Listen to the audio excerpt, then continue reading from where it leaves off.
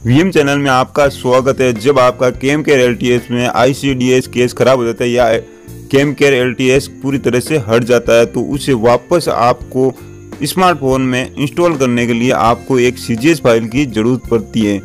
उस सी फ़ाइल में ही आपका आईसीडीएस केस की डाटा होता है। उस फ़ाइल के बिना आप आईसीडीएस केस को इंस्टॉल नहीं कर सकते। आई को इंस्टॉल करने के लिए आपको एक सी फ़ाइल की ज़रूरत पड़ती है। अभी फ़िलहाल मैं three one two seven four की सी फ़ाइल को कैसे डाउनलोड करें, इसके बारे में आज इस वीडियो में बताया गया आप इस वीडियो के बाद में आप आसानी से आप अपने फ़ोन में सी फ़ाइल डाउनलोड कर लोगे। वीडियो आगे बढ़ने से पहले आपको एक रिक्वेस्ट है कि हमारे इस चैनल को सब्सक्राइब कर दे, पीछे आपको बेल आइकन भी दिखेगा, उसको भी प्रेस कर दे, जिससे नए वीडियो की नोटिफिकेशन आपके पास आ जाए। I C D S case की सी फ़ाइल को डाउनलोड करने के लिए इस वीडियो के डिस्क्रिप्शन में इसकी लिंक है, वहाँ से आप डाउनलोड कर सकते हो। आपको बता दें कि इसी वीडियो की डिस्क्रिप्शन में न्यू वर्जन की सी फ़ाइल की लिंक दी हुई है।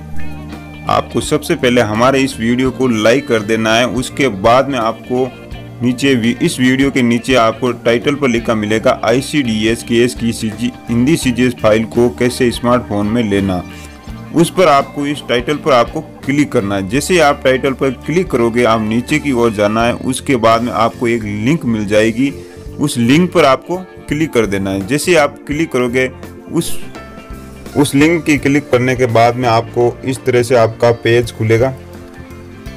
उसके बाद में यहाँ पर आपको ग्रीन कलर का I C D S case A W W Hindi आपको लिखा मिल जाएगा। ग्रीन कलर के अंदर आपका उस पर आपको क्लिक कर देना है। जैसे आप क्लिक करोगे, आपका डाउनलोड के लिए एक नोटिफिकेशन आएगा नीचे, जो दो सौ चौंसठ एम बी का ये फ़ाइल है, उसको आपको ओके करके यहाँ से डाउनलोड के लिए स्टार्ट कर दे। नीचे आपको ओके का ऑप्शन मिल जाएगा, उस पर आपको क्लिक कर देना है। जैसे ही आप क्लिक करोगे, आपका यह डाउनलोड स्टार्ट हो जाएगा। ये फ़ाइल आपकी, जो दो सौ चौंसठ एम की फ़ाइल है, वो आपको डाउनलोड होने देना है। आपका इंटरनेट का कनेक्शन चालू रखना है। जैसे ये डाउनलोड हो जाएगी तो आपका ये फ़ाइल मैनेजर के अंदर, डाउनलोड के फोल्डर में ये फ़ाइल चली जाएगी। वहाँ से आप अपने I C D S case को ऑफलाइन इंस्टॉल कर सकते हो और वहाँ से वर्क कर सकते हो।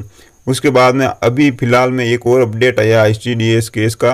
वो भी आपको ये फ़ाइल को लगा के उसके बाद I C D S case को भी अपडेट कर लेना है। अगर आपको अपडेट करना नहीं आता तो इस चैनल पर बहुत सारी वीडियो बनाई गई हैं। आप वहाँ से आप देख के आसानी से अपडेट कर लेना है।